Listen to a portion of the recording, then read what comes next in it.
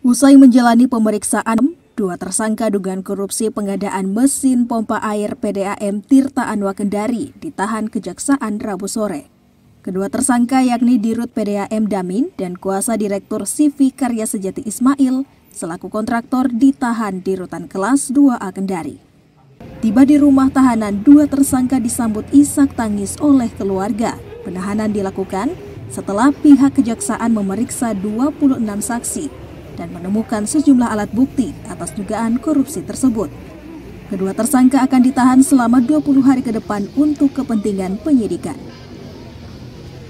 Pada hari ini, uh, sejak jam 9 pagi tadi, kami sudah melakukan pemeriksaan kepada tersangka uh, terkait juga tindak pidana korupsi pada pembangunan Fintech Pohara dan WTP Pukulaka tahun anggaran 2022 oh, setelah dilakukan pemeriksaan kepada tersangka, pemeriksaan tentunya didampingi oleh uh, kuasa hukumnya masing-masing.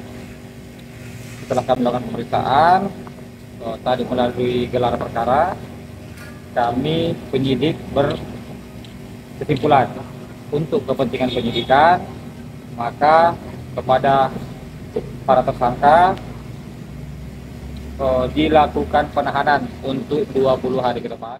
Dugaan korupsi yang berasal dari dana hibah Pemkot tahun 2022 ini mengakibatkan kerugian negara mencapai 600 juta rupiah. Untuk mempertanggungjawabkan perbuatannya, kedua tersangka kini terancam pidana 20 tahun penjara. Daeng Rahim Side melaporkan dari kota Kendari.